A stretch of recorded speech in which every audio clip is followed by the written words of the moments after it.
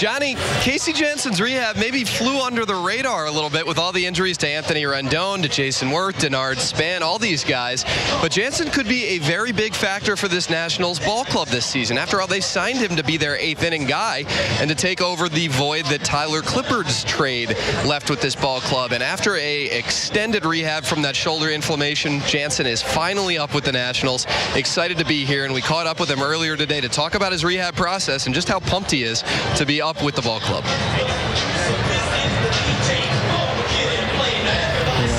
Frustrating going on the DL just in general, and uh, you know disappointed I missed the, the, first month and a half or so. But um, looking forward to uh, um, pitching and uh, competing again.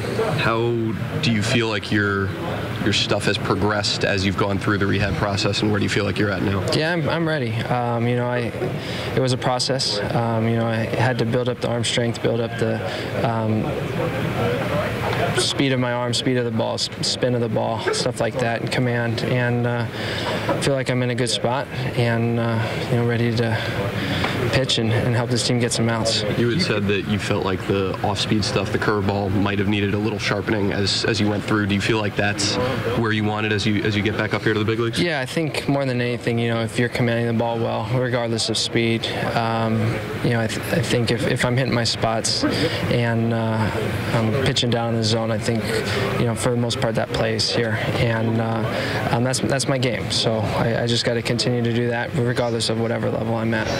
Oh! Now, this is pretty much opening day for Janssen, his first day up with the ball club after signing with the Nationals this offseason, and he admitted he'll be a little excited today, a little amped up for his first day in a Nationals uniform. Now, as for his role, Matt Williams was asked earlier today if Janssen will slide in and be that eighth inning guy like the Nationals signed him to be. Hello, Steve McCatty. Matt Williams' response was, we're going to kind of wait and see. I can't figure out game situations until I'm really in them.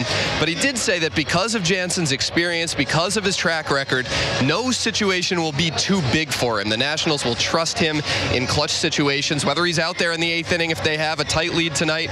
Can't really say right now, but the Nationals know what they have in Casey Janssen if he's healthy and he's pitching the way that he expects to, Johnny.